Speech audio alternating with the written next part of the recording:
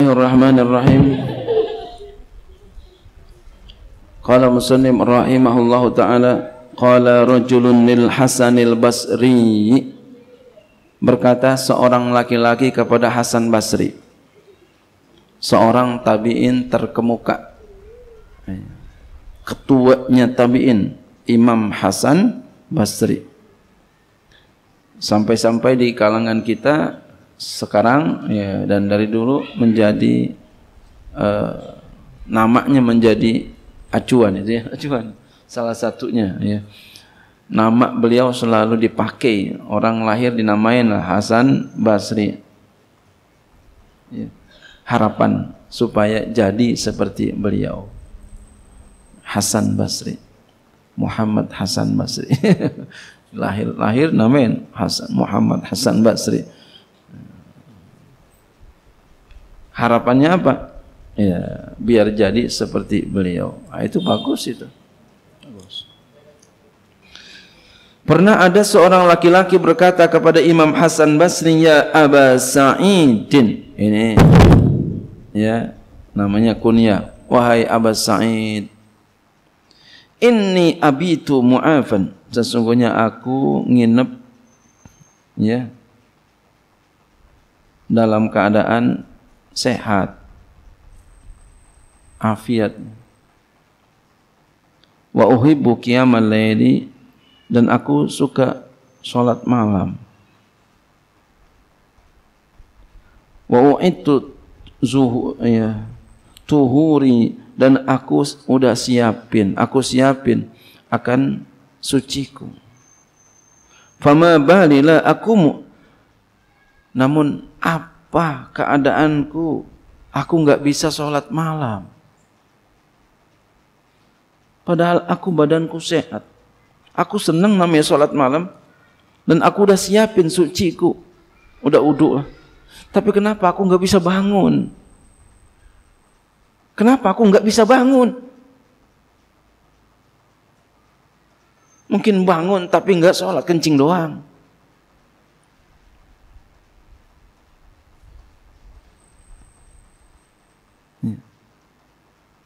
Kenapa aku susah untuk sholat malam?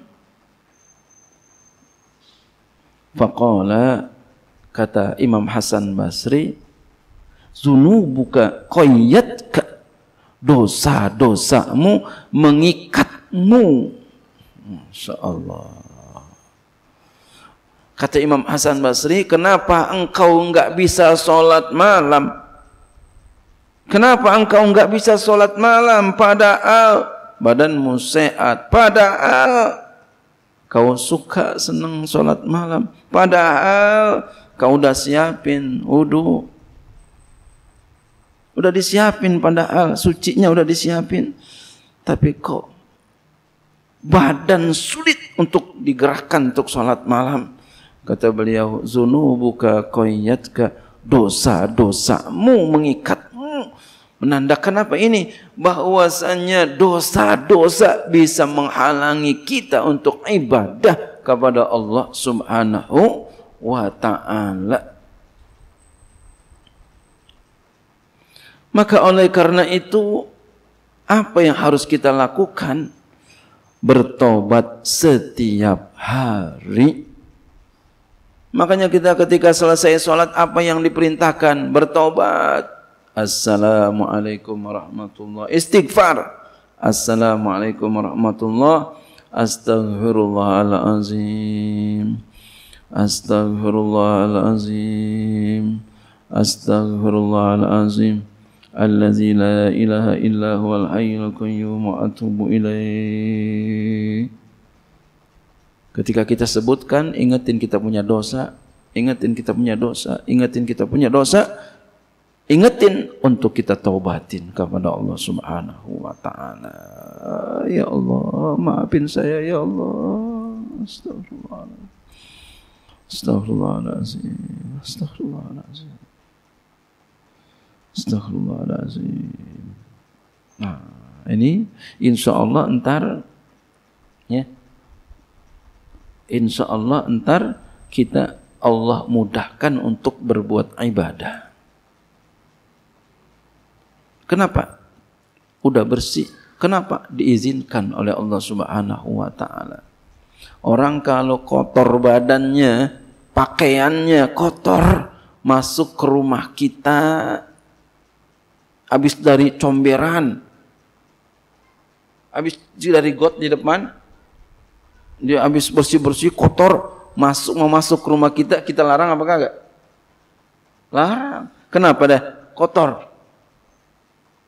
nggak boleh masuk begitu pula kita kepada Allah Subhanahu wa taala dosa itu adalah kotor maka kita harus bersih-bersih.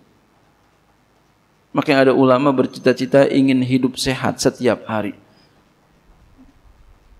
Dikatakan, bukankah kamu sehat? Badan kamu tuh, bukan itu maksudnya. Sehat, hidup sehat selalu, maksudnya apa? Tidak berbuat dosa, sehat. Namanya sehat ruhani. Jadi jasmani sehat, ruhani sehat. Cita-citakan itu. Tidak berbuat dosa. Cita-citakan itu.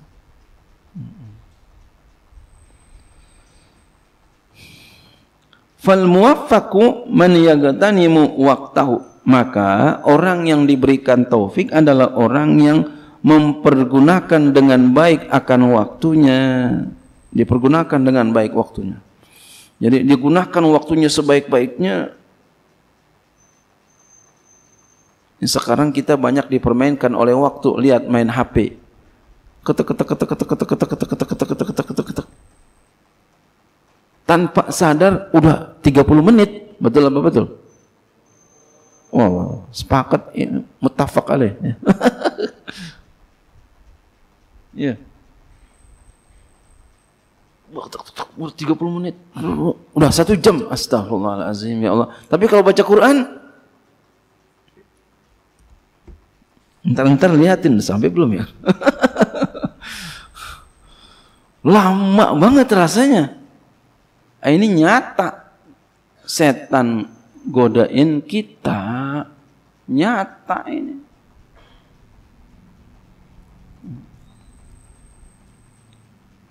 Maka manfaatkan waktu sebaik mungkin. Jadi uh, al-muwaffaq man yagtanimu waqtahu. Orang yang diberikan taufik oleh Allah adalah orang yang mempergunakan waktunya dengan baik. Jadi kalau kita kepengen selalu diberikan waktu, maka pergunakan waktu kita dengan baik. Jangan ngobrol, jangan suka ngobrol. Apalagi sampai berbuat yang maksiat, jangan sampai. Jangan bersantai-santai. Jangan sampai melakukan sesuatu yang membuat terbuang waktu kita. Kosong waktu, langsung isi yang positif. Langsung isi, langsung isi, langsung isi, langsung isi. Begitu. Jangan sampai biarkan waktu ini terbuang dengan sia-sia. Karena hidup ini cuma sebentar. Cuma sebentar. Ya Allah ya Rasulullah. Ya, ya Masya Allah. Umur kita udah 40. Kalau umpama 60, batasnya berarti 20 tahun lagi kita hidup di dunia. Setelah itu meninggal. Umpama. Iya kalau 20, ya 20 tahun lagi. Kalau besok, umpama.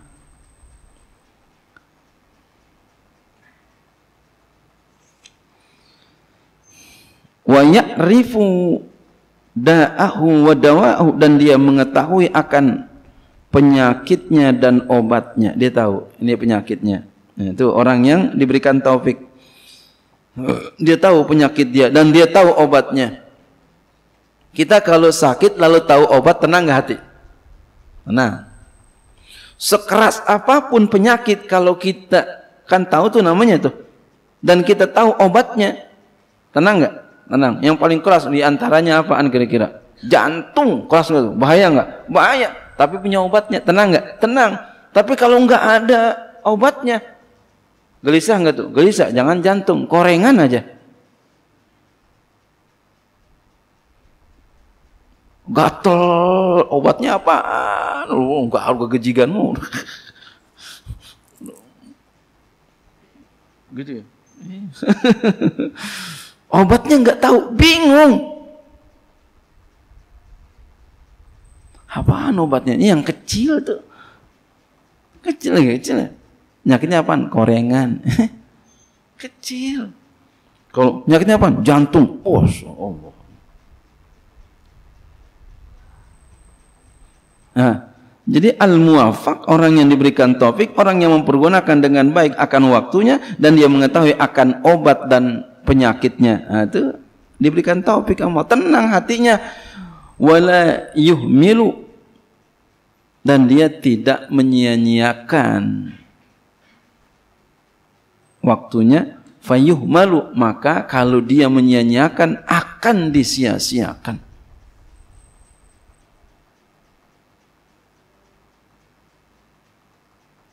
umpama kita ya menyanyiakan waktu kita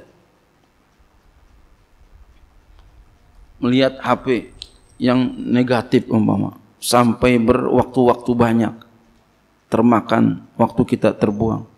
Lalu setelah kita ngelihat konsumsi yang negatif kira-kira ada dampaknya nggak sama kita tuh? Dampaknya ada. Dampaknya ada. Nah, itu dia akan disia-siakan dampaknya itu. Ya. Maka orang yang seperti itu berarti apa?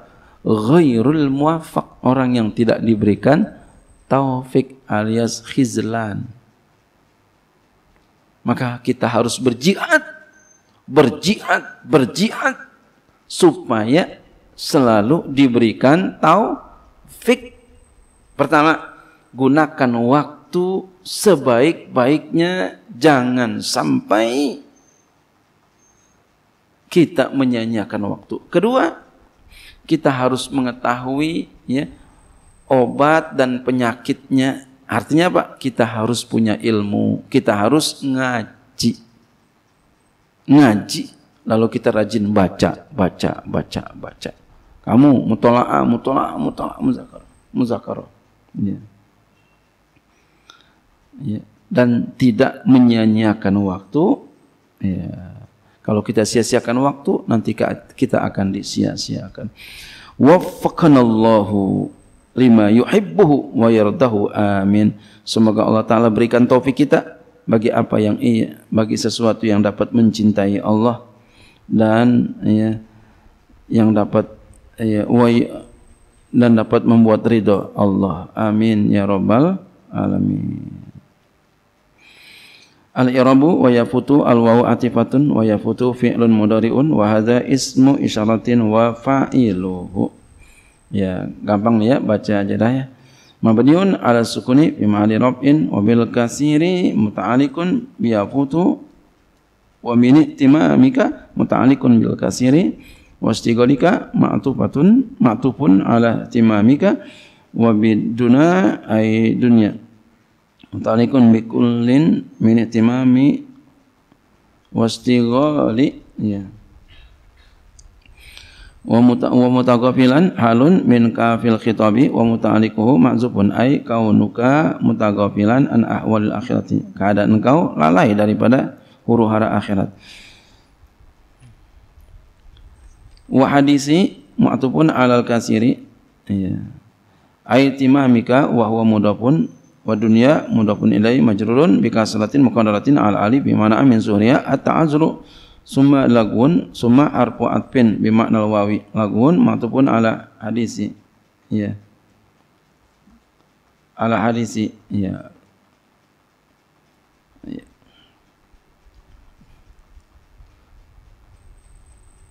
Ya. Summa laguin berarti ya. Summa laguin ya. Nah laguin. Kemarin barisnya begitu ya. Laguin. Summa laguin wal lagatu ataupun alai aidan. Ya. Wal lagati wal lagati wal lagati matupun alai aidan. Wal wal lagu ka al qaul batilu. Wal lagatu as-sautu wa siyahu suara dan teriakan. Iya Kada fil mukhtari. Wa kada eh, kada fil mukhtari. Demikianlah di dalam kitab Al-Mukhtar. Iya.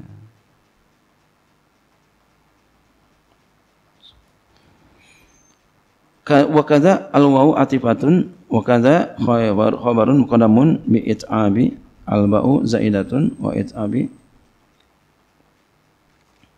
wa it'abi ya mubtada'un muakhirun ay wa it'abi wa it'abil jawari kainun kadza ay kal mazkuri min istighalika ila akhiri fi tafwid tahajjudi wa imtila ma'tufun ala it'abi wallahu a'lam bisawab al-fatihah